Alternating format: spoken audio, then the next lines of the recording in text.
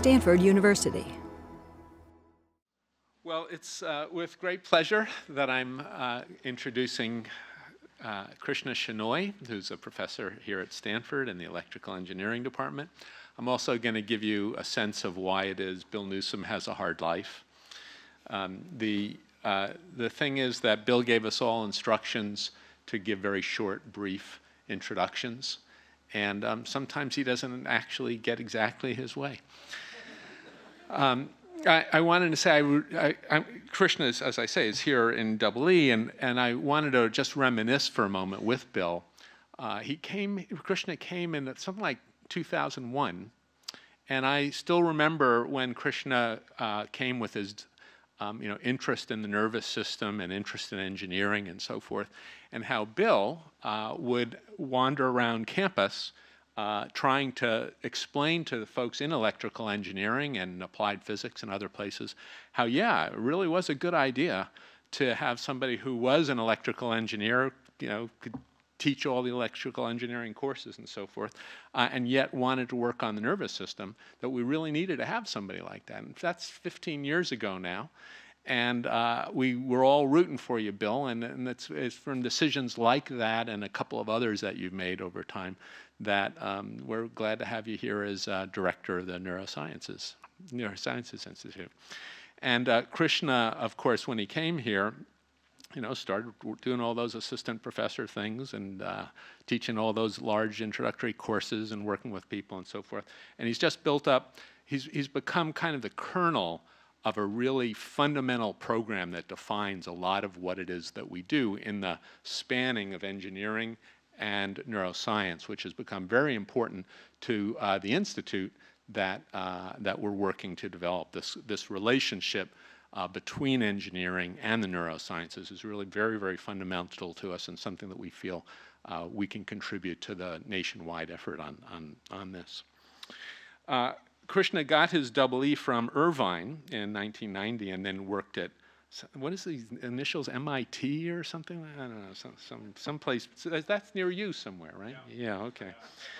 Okay, and um, and he's affiliated here with uh, bioengineering uh, and neurobiology departments also. But he's, uh, I think I'm supposed to say you're an HHMI investigator, and they actually pay your salary at this point, so you got to be nice to them.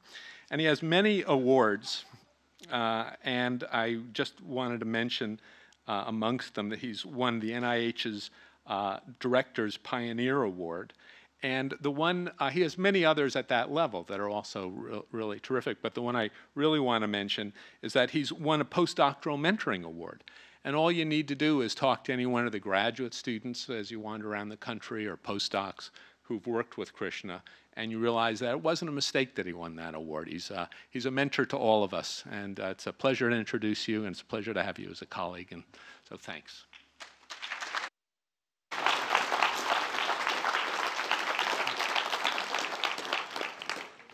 Thank you very much for that uh, probably overly kind introduction, to be sure. So it's a real pleasure to be here this afternoon to share with you some of our recent thinking and experiments, uh, trying to take us one step closer towards trying to help people with paralysis. And let me start with the most important slide that I ever show, of course, which is to recognize the spectacular students and postdocs and staff without uh, whom none of this would work, obviously. So it's, it's just a real honor to work with everybody, including our collaborators, on the translational aspect of the work, as opposed to our monkey-based work that I'll describe in a second, uh, the same thing holds, and I'd like to highlight Professor Jaimie Henderson, with whom I run that lab. And working with the neurosurgeon is just a great pleasure in my life to really learn the clinical side of things.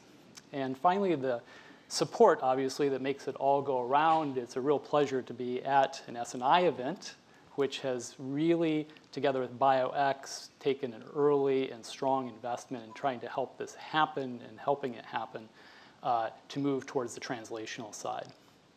So movement is really critical to life. We all know this. We all also know that we will never appreciate this like we will uh, when we lose that ability, and hopefully we don't, okay? But let's just take for a moment uh, a second to, to, remind ourselves of how exquisite uh, our ability to move really is. Now, here's a couple of happy looking bears, okay? And if I was the bear on the right, I have to do a few things. I have to keep an eye on that bear to the left, because not quite sure what he's gonna do. These rocks are rather slippery, so I have postural control going on, right? Uh, and then, I, of course, I want to sort of position my head and that arm to scoop up that yummy looking fish and eat it, okay? So there's a lot going on. You do it seemingly effortlessly, but there's got to be something going on in your brain to help it all happen. And we would, of course, love to record from these bears, uh, but I don't want to get eaten by them. So instead, we work with monkeys, which are only slightly less interesting to work with. And we think it's important to study the cortical control of arm movements for a couple of reasons. The first is basic science. We'd like to understand how neurons coordinate and cooperate with one another. And then on the systems neuroengineering side, we could call it that, we want to understand how we can design brain-machine interfaces, and again, I'll explain this more in a second, or BMIs to help people with paralysis. Okay, so how do we study this? Just two sort of methodological overview slides. On the neural side, this is just a side picture of the brain and the arm. We know that information comes in from the sensory systems, including vision is shown here. Something goes on, we plan movements, we uh, try to execute those movements, we send those signals down the spinal cord to the musculature, and out pops movement. And what we can do is we can eavesdrop in on individual neurons in the motor cortex, premotor and motor cortex. We can do that with single electrodes uh, or electrodes with multiple contacts we want to record simultaneously. Or a real workhorse in our lab is this array that has 100 tiny electrodes, and we often put in two of those. So we're recording from on the order of 100 to 200 single individual neurons. So we're recording action potentials of the time scale of milliseconds, okay? Now, what about behavior? The other very important side of systems neuroscience. We work with monkeys because we can train them to perform very sophisticated cognitive and motor tasks, and we also care deeply about having brains that are homologous to humans because we're into a translational endeavor here. And everything I'll show you is some variant of the following instructed delay task. We train monkeys to look at a screen fixate on a point, touch a point, and that's sort of their baseline state, okay? We then turn on a target somewhere on the screen, so for example, down, and at that moment he knows he'll have to reach there eventually, but not quite yet. That initiates a so-called delay period or a preparatory period. He can do whatever he wishes to get ready to make that arm movement. A bit of time later, we extinguish those central targets. That's the go cue. He then makes the movement, and the time between the go cue and starting the movement is the so-called delay period, or the so-called reaction time. Okay? So all we're doing is having monkeys sit there, touching, and then reaching to different targets. Okay? So there's the introduction. Now, what I'll try to do is uh, describe a new conceptual framework uh, in and around dynamical systems that David Tank's talked this morning so beautifully uh, introduced and examined. And we think this is really important because our current understanding is starting to really limit us, both in terms of basic science and in prostheses. I'll try to describe some of our recent science, just a couple of stories, and then leave off with some of our recent translational work. Okay, so we think that a real barrier to progress in motor neuroscience uh, is this concept of representation that we inherited from the sensory system, okay?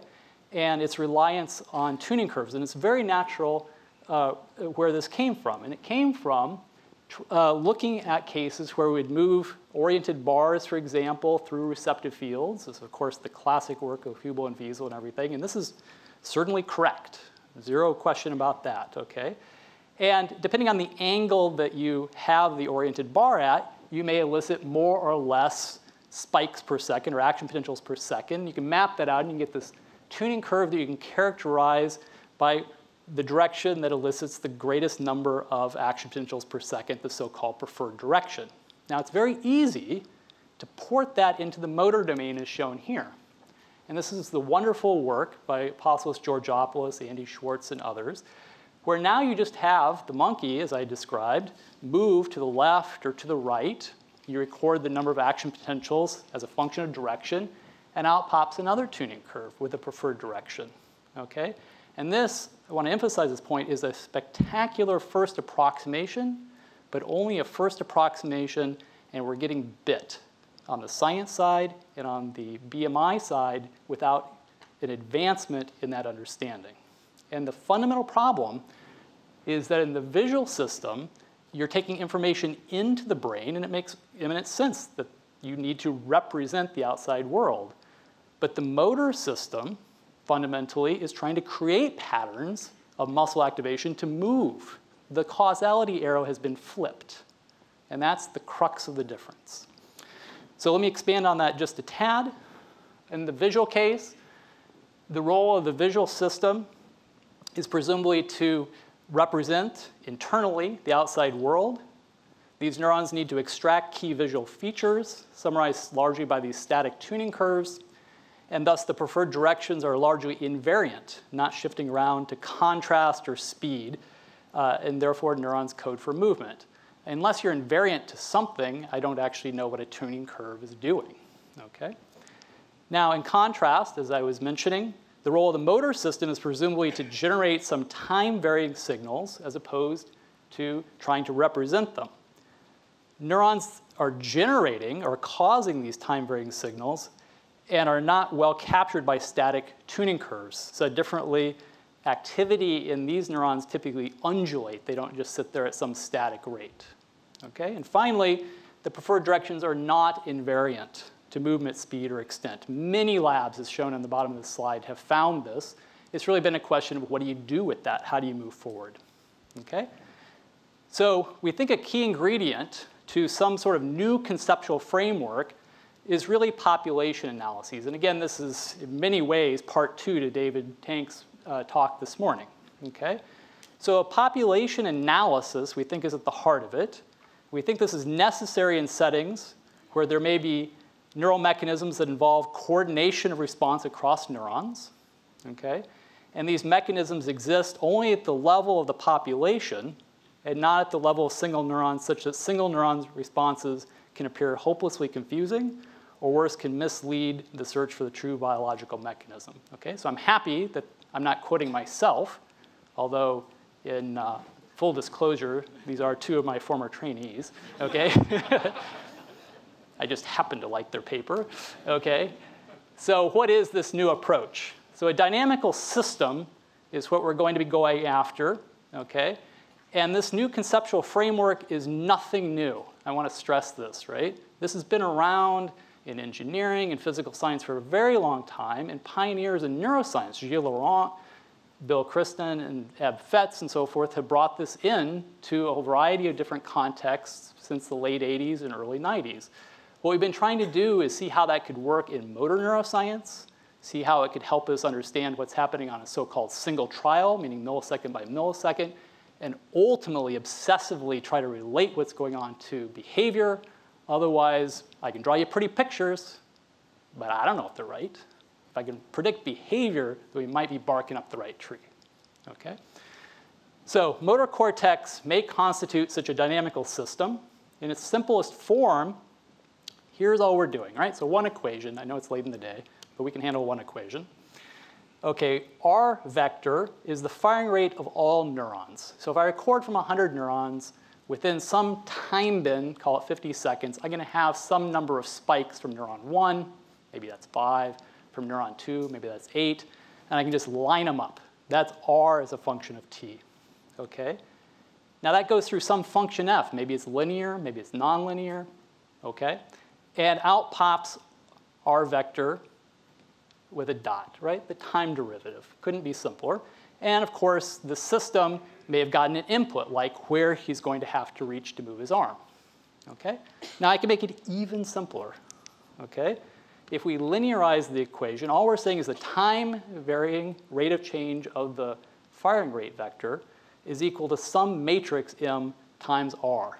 We would love to be able to measure what m is, quantify what m is, because then we port all this mumbo jumbo about these bunches of cells doing their own little wiggles and squiggles down to a matrix. And even I can just understand a matrix, okay? all right?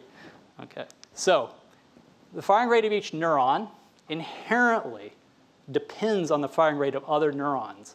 This is the departure point. This is saying if I can only measure one neuron at a time, I'm out of luck, right? So this is the point of no return, away from the single neuron view of the brain, okay? And in this conception, the neural responses reflect underlying dynamics and display representation only incidentally. Okay, so if I'm trying to create a movement, yeah, maybe some of my neurons look like they are direction tuned, maybe they're speed tuned, but it's incidental, it's not the primary point. Okay, so let's make some predictions and see if they hold up. The dynamical features that I'm alluding to, but I've not yet spilled out, ought to be present in the neural population state. Okay? So again, we record from, say, a couple of different arrays. On each row is the response of a different neuron. Each black tick is when one action potential is fired. The little rectangle is that slice of time that we can then slide through the trial. And this is one trial. This is one holding his arm and reaching out to a target. Okay? Now, we can do two things. The first in this dynamical systems framework is called system identification. Okay? And again, this is textbook engineering, textbook physical science. Okay? Nothing new here. I want to be very clear about that. So we can take our equation, what we can try to do from the data, right? We're measuring the firing rate R. You can see it sitting there. Okay? Is we want to learn F. We want to learn that function F from the data. That's all system identification means. Okay? The second thing we want to do has been alluded to several times in the various talks, again, pointing back to David's talk, is basically discovery. We want to look at these data in a different way. I don't want to have a book with 200 different neurons, each with a peristimulus time histogram or time average thing, and have to flip through it and try to think about what it is. I want to take the data, I want to try to reduce the dimensionality as far as it can be reduced because not every one of these neurons is acting independent of all the rest. But I don't want to take that dimensionality down too far. I'm showing you something drawn on the screen in 2D. I'm not saying it is 2D, that's all I can draw. 10 to 15D is sort of the range we tend to find, okay? And I'll go into this bottom picture more on the first slide here. Okay? So, the first result is that we can take the data from these delayed reaches and we can put a red point down on a single trial. Okay? When the target goes on, when he first sees where he's going to have to go. Okay?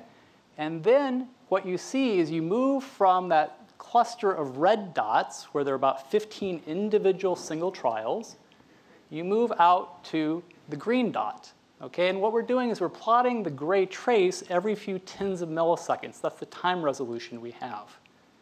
The go cue comes, and then you traverse from the green over to the blue. This is this type of loop that you've seen in many talks today. Okay?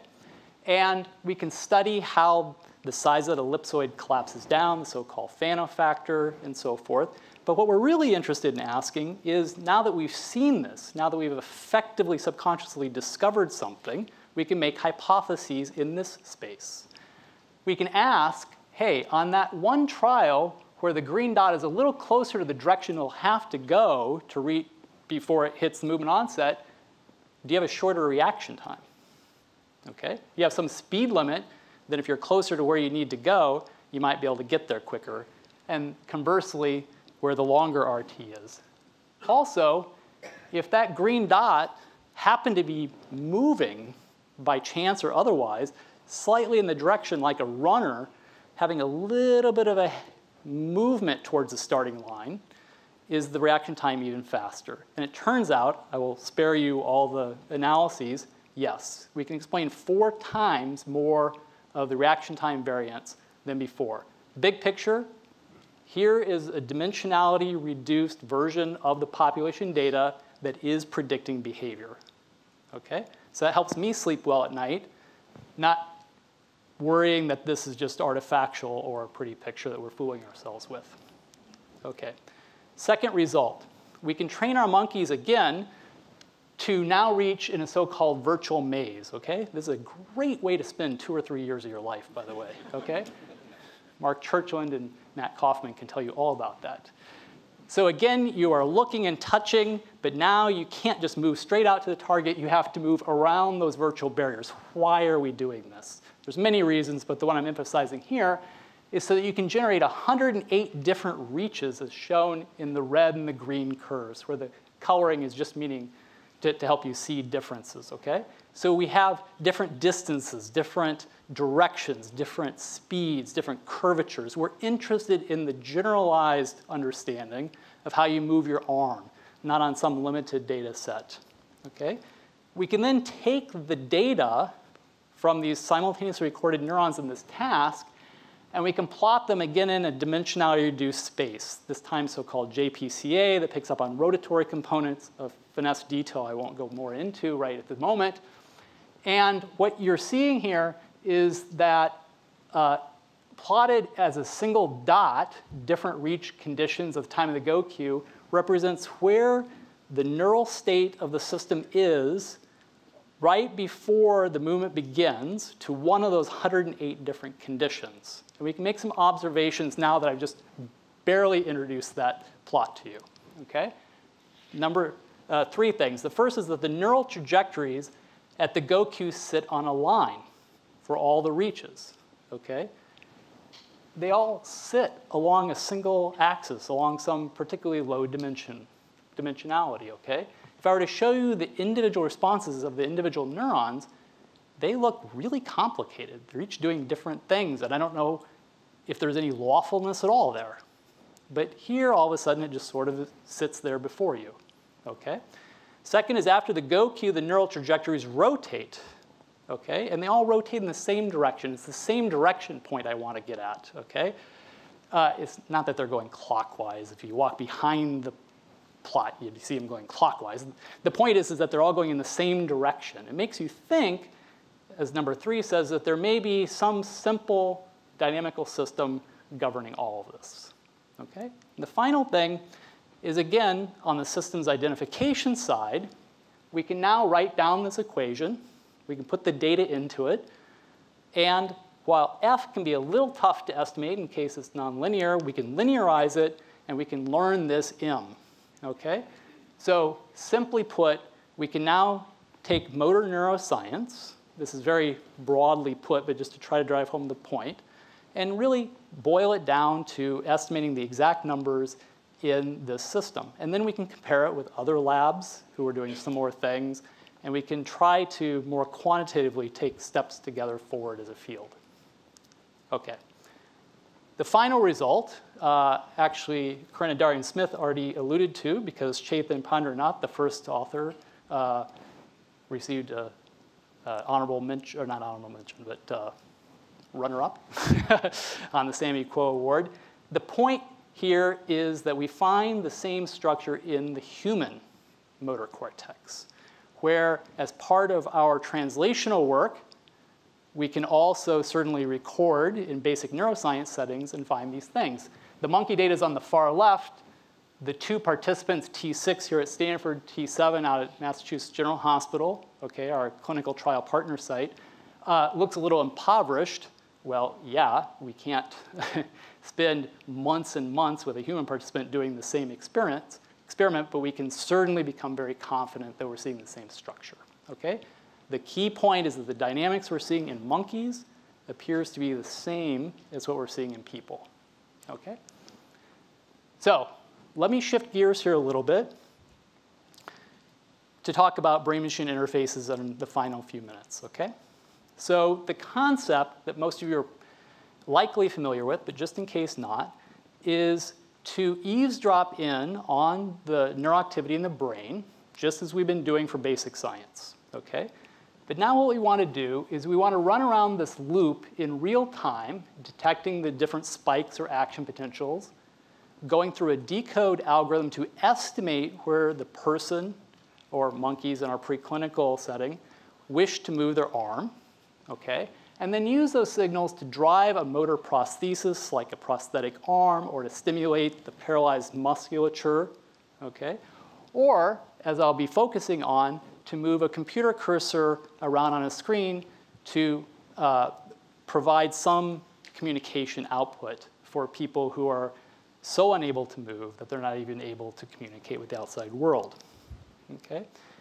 And the first thing I want to do is build a quick bridge, right, between this dynamics basic science that I've been discussing and the work that we're able to do in brain-machine interfaces, okay?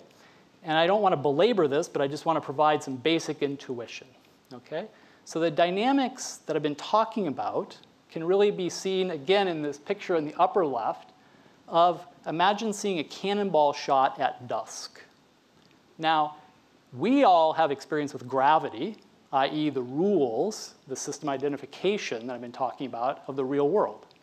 So even if it's a little hard for us to see this cannonball arc, because it's at dusk after all, we, we can do that because we have a priori expectations on this. The cannonball is not going to go straight up, okay? And our eyes are pretty good, right? They're light adapted. Now, if we look down below, this is a degraded image to better mimic the case, by analogy, of an electrode array in the brain. Okay? First of all, we've taken the image and we made it grainier, lower resolution, in other words, lower resolution. Why is that? Well, we have 100 electrodes in the motor cortex, and there are millions and millions and millions, right? So that's like having a low resolution camera. The second thing is we've added noise here. What, what's this noise? Well, we don't get to listen in on the membrane potential of every neuron. We're looking at a noisy, Poisson-like output spike train, okay? That's a lot like single photon arrival noise on a low light uh, intensity image hitting a camera. So from that image alone, if you were just to try to estimate the cannonball flight, you get this jaggedy blue trajectory. And that, by again this analogy, is what everybody in the field has been using to drive prosthetics, to drive the real-time estimates. Okay, but we can do better. We can do better because what we're able to do is we're able to look at those dynamics in the brain via the electrical sensors that I've been talking about over and over and over again. We can learn the dynamics, right, of how neuroactivity moves through the brain, which again, an analogy is like learning Newton's law, okay, Newton's laws. And if we put that together in the upper, light, upper right panel here, we can recover that orange trajectory, which is correct. And if you do all that, again, I'll spare you all the quantification, but you can do the following uh, I'm not sure if the sound is playing, but if it's not, that's okay. So this is a monkey sitting in front of a screen, seeing a six by six grid of yellow, just thinking about moving the white cursor. He's able to think about moving his arm to the left or to the right to move the cursor up and down. And then by dwelling on the target, he's able to select it. And what you're seeing is by uh, quite a large margin, this, combined with some previous advances, a much quicker and more accurate system than's ever been reported before. Okay? Now, in the last two slides, and then I'll be done, if I can advance it. Oh, I'm sorry. One more slide before we get to those last two slides. A question I often get, which is of great interest, of course, we're very interested in it too, is, hey, what about plasticity? What about neural adaptation, right? We all know about cochlear implants, or most of us do. You stimulate in a rather impoverished way the cochlea, and the brain learns how to interpret those signals, and we can regain the ability to hear. Don't these brain machine interfaces also engage plasticity so you can get better with them through time? Very natural question. And the answer is it depends. Okay, and I just wanted to, to mention that. So when the BMI performance starts out quite well, like what I just showed you and what we tend to do in our group, okay, uh, there's really rather little behavioral pressure to improve, which we think is the key point.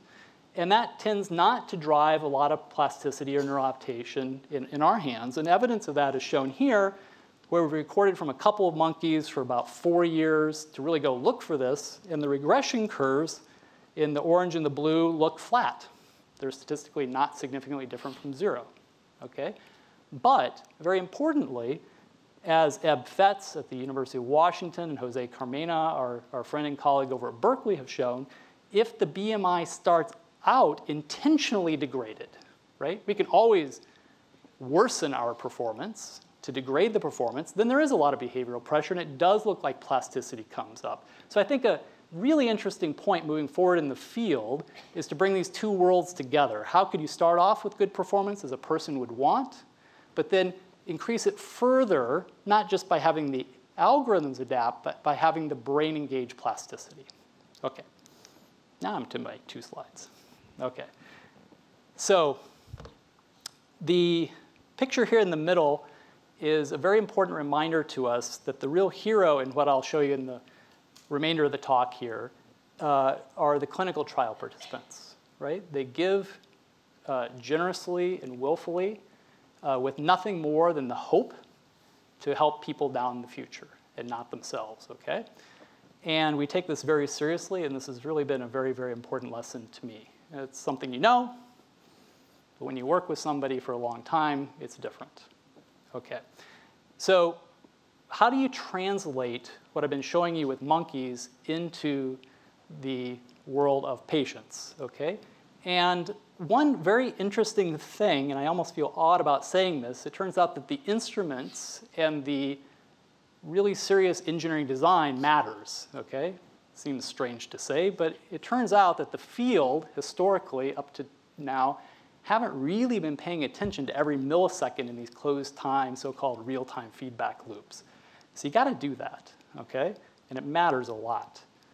Then what we can do is, of course, we can eavesdrop in, again, on the neural activity. You see a little gray uh, connector. Those are the amplifiers. That can all be gotten rid of with wireless technology. That's in the works.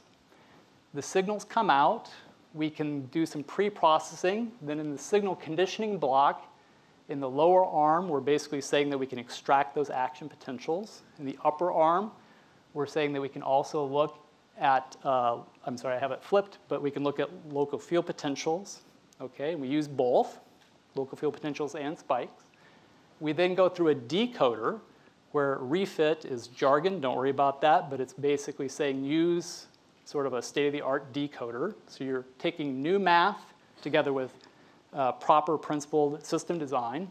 And what you're able to do is you're able to bring down the time on average to move out and hit one of these targets, like taking your single finger and touching a target, from the previous world record, just over eight seconds, which is rather slow, it's laborious, down to uh, around three. So this is about a two and a half times improvement, okay? So this is a paper that came out uh, just on Monday, actually. Now, let me show you two videos of actually a person with amyotrophic lateral sclerosis, ALS or Lou Gehrig's disease, who is unable to move, okay? This is in our participant uh, coded T6, who's right here at Stanford, okay? Everything I'll show you also is functional on the East Coast in a second participant where we always prefer to do this in two people so we know it's not an idiosyncratic result, okay? And to make the point of, the, of where this work is at, we simply asked her a question, how did you encourage your sons to practice music? She's a wonderful musician. She actually built violins, okay? This is something she's passionate about. So we just asked her a question, and one definition of whether you have a communication device on your hands is, can you just hold a conversation, okay? So let's see her type the answer back, and I'll orient you to this movie, okay? So what you're seeing is a side view of T6. Again, you're seeing the connector. She's not moving her hands. She's looking at this computer screen in front of her. She's thinking about moving the cursor to the left or to the right by virtue of thinking about moving her arm to the left or to the right. How is she selecting a target, i.e. when it turns blue? Well, she's doing that by imagining closing her hand, not unlike us actually pushing the click signal on our computer mouse okay? And she slowly types out the message, okay? And what you see on the panel at the bottom here is the correct characters per minute. You can see that it does go up and down. Of course, we want to make that stay higher for longer, no doubt. Okay? But she's able to simply type back this message, okay? And this brought uh, her a great deal of uh, pleasure. Okay? Now, uh, while that's good, uh, it's a little bit hard to really quantify all these results, which I won't go into in detail, but uh, we had to ask her to do exactly what we've all probably done in our own lives, which is at some point take a typing test, right? Here's a page of text, copy it, right? And that's how you can quantify words per minute and this type of thing. So here's that, where we present a sentence, we present many, many sentences. When the sunlight strikes, raindrops in the air, and you can see her typing back. And this gives me the opportunity to also point out one other very important point, and this is the axis with engineering that Brian was pointing at. This is not a normal keyboard, as you note. This is an optimized keyboard, right? Our human-computer interface colleagues across the street in computer science would uh, slap us if we didn't do this. Of course, we've clustered in the center the letters that are more frequently selected and put Z and X out on the periphery. Why wouldn't you do that, right? A QWERTY keyboard is ridiculous. It dates back to when you had little mechanical heads that shouldn't collide, right? So you gotta optimize the device. If you do all that, again, you're able to achieve two to three times higher performance. Again, what is our goal? Our goal, quite simply, is to try to get these to work well enough that they are relevant in a clinical setting. Okay. So in conclusion, we've been, been investigating a new dynamical systems framework.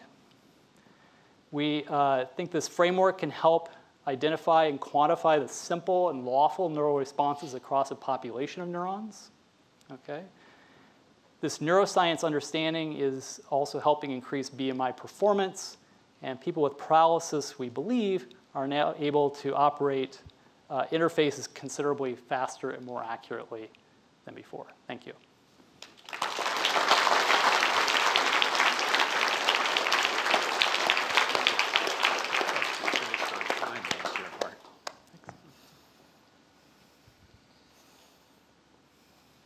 Okay, we have time for questions. Great talk. On? Yeah, great talk. Thank you. Um, It's really wonderful to see what this can do. When, when I think about motor movement, I think of parts of the brain that are not the cortex as well as the cortex. And in particular, when I look at the typing that the monkeys and the subjects in your studies can do, it looks a lot like a person who's had a cerebellar stroke. Yes. And I was wondering if you think that in order to improve it further, the answer lies in looking at other regions of the brain that are involved in motor control, or if it lies in better tools for measuring cortical activity. Yeah, that, that's a great question. So the short answer is yes. You know, uh, we don't mean to be cortical chauvinists. uh, it is on the outer parts of the brain, which makes it a convenient electrode target, of course. But to have the level of control that we're able to achieve, we really do need to, you know, tap into basal ganglia, cerebellum, a whole variety of other structures. Absolutely, and we would love to do that. Said slightly differently, uh, you know, it sort of takes some gall as a field to tap into the cortex, completely ignoring all the subcortical structures in the spinal cord and the muscle dynamics that it's normally controlling, and just think, oh, we'll just estimate what it should do. So in some way, these decoders that we're making are an artificial musculoskeletal system.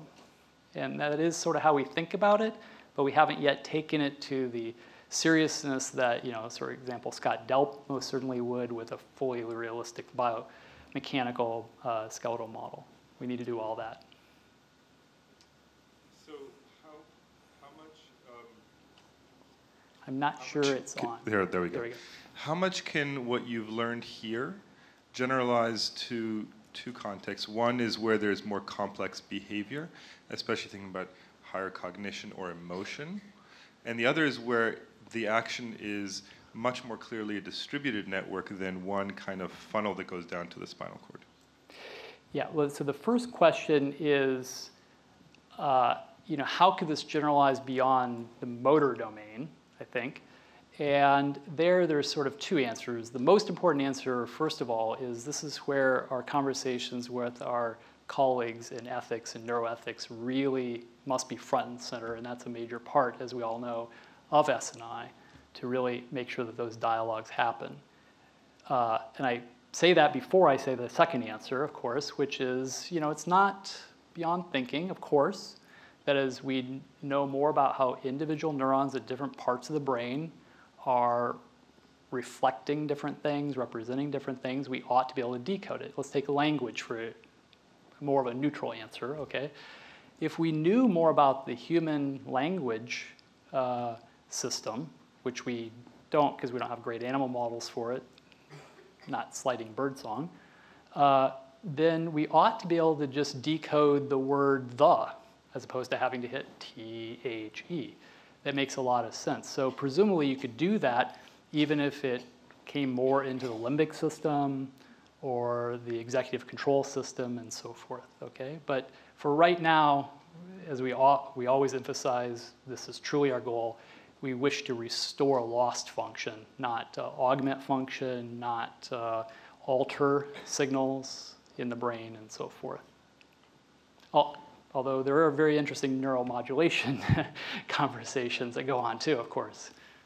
Steve, Yeah. or, And I, uh, and I forgot your second question. I, did I cover it well enough? That's sort of a distributed system versus a, a bottleneck system through a motor cortex. Where's the action of the coordination between? Yeah, I, pro- I, I would probably need to think about that a little bit more, but it ought to be possible to do that as well. Read out multiple areas and have that go to some coordinated movement as opposed to a single thing like a cursor literally moving. Krishna, Yeah, I have a question that kind of relates to what Steve Hyman um, said early this morning, which was, you know, biology really only makes sense in, in considering evolution, evolutionary perspective. And so, in thinking about motor control, I, I'm wondering what you think about, for example, the work coming out of the songbird system when thinking about the generation of songs in the songbird, there's a kind of a different kind of network view, which is that it's a SynFire chain type pattern generator, which through projections to the syrinx of various patterns produces the complexity of the song. And so I just wondered, do you think of that as sort of in this dynamical systems perspective? Because it doesn't really fit into a linear dynamical system. Right, right. And I think your work with Chris as well, uh, very much. Whereas if you have some very sparse representation that is generating these exquisite sequences, uh, no doubt they're there. Uh, we don't tend to see those as at least the primary feature, okay? Uh, we uh, definitely are very influenced by the literature and love to connect those two literatures, including in the domains of trying to estimate dimensionality. That's work, as, as you know, of course, that Surya and our group are, are trying to do together to better understand the similarities and differences between these systems. Uh, I do think it's consistent with a dynamical systems perspective, but just not linear, exactly as you said. Totally agreed. Steve, you- Yeah, just, second, second chance at yeah, no, no, asking no. your own question no, back no, to. no, Just, just, uh, just a comment, first of all, really amazingly inspiring talk. Um, it strikes me, you know, if you started out with the good reductionist biases, you would think that reducing the complexity of genetics would be easier, uh, but we can't get to yet your, your matrix, right? And, uh, and it's sort of interesting when you let the nervous system sort of integrate what you're, what you're inferring from the interaction of many neurons, um, you get a good readout. And I, I think it's just a good lesson that we, we despite the fact that we're starting with something that should be easier, genes, we don't have Yeah. that readout. And, uh, but I think there were really very important lessons about the struggles of going beyond looking one neuron at a time, one genetic variant at a time. I don't know if there's, I, I, I fully agree with your comment as we were Yeah. talking briefly over lunch. The uh, similarities and differences between the genome and neurons and this, the, the, the marked similarity in the math that Bill was pointing out and Brian was pointing out. There could really be a big idea truly there. Not in that big idea sense. I have a quick question over here. Um, so, um, What about, how does, so obviously the subjects were able to see and they're, they're focusing on, on where they want to put their attention. Yes. So how did these approaches would compare to, for example, eye tracking, simple eye tracking, moving, following the eye? How, how, in terms of the rates or improvements? Yeah, that's a great question. So, uh, for this type of communication device, the very natural question that you just asked is why not just wear an eye tracker and move an X and Y and blink? And these systems definitely exist. We have them in house for internal control. But uh, it's very humbling to talk with neurologists and patients, which agree on the following. Uh, 10% at most of people choose to use them. And the fundamental reason for that appears not just to be that the oculomotor system is how you collect a great deal of information, but it really comes down to when you are so disabled, the eyes are a very powerful emotional link to your family, to your treating physician, to, to the world outside. You don't want to encumber it, you don't want to commandeer it. Uh, so it's one of those things that from first principles thinking about it, I don't, you wouldn't come up with, but it comes from listening to the people. So, I know Ann Arvin uh, will kindly allow one more question before she. I, I, We'll take, we'll take one, one final Okay. question. so uh, I had a, ready. I had a just a basic question about your your one equation uh, from going to the vector of uh, to the to the derivatives of what we're going to happen next. Is that matrix? Is that supposed to be a constant, or is that a function of what the motion is going to be? For now- Well, well, so is it the same matrix for, for every possible set of motions? Is that the assumption? Or the model? So currently, yes, that is the assumption. That is what I was trying to get across. Uh, in bigger picture, we'd just like to see how far we could get with that. We can always make that time varying. Of course, things get more complicated and so forth. Uh, there's a there's a rich, you know, this is all linear dynamical systems, and when you go beyond linear dynamical systems, things get either fun or impossible, one of the two. so. Well, thank you very much, Chris. For more, please visit us at stanford.edu.